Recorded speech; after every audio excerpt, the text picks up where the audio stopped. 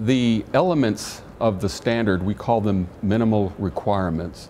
And there are five major categories of the minimal requirements. There's uh, ergonomics or the physical attributes of the device, and that has to do with the, the size of the device and the weight of the device.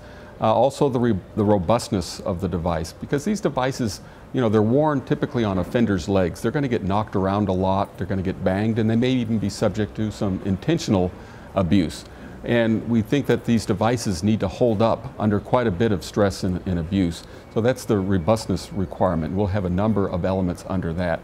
Uh, circumvention is another category. We have asked agencies and practitioners what are they seeing, what types of techniques are offenders using to try to circumvent the technology. We are asking agencies uh, to tell us what they are seeing in the field for, as far as circumvention techniques that are being used.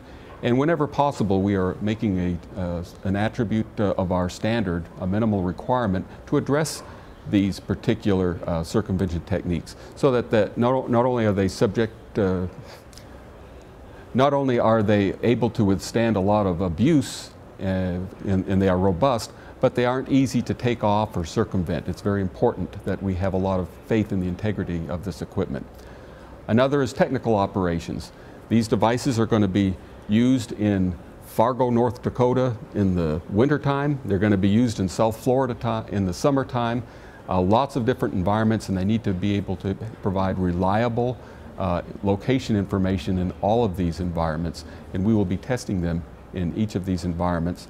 And finally we have uh, software requirements. Uh, we have again asked agencies uh, and practitioners what they need in software and what kind of reports that they use on a daily basis. And we've found that uh, many, many agencies have the same requests and the manufacturers, to some extent, aren't responding to those requests. So when they are not uh, have the reports that are needed in the software, we're going to ask them to include them just so that the practitioners will have better tools at their disposal. We would like all manufacturers of electronic monitoring and tracking devices to comply with our standards, but it's voluntary. And we feel that uh, we will encourage many agencies to put that in their request for proposals to, to make sure that they are NIJ certified, but it's not required.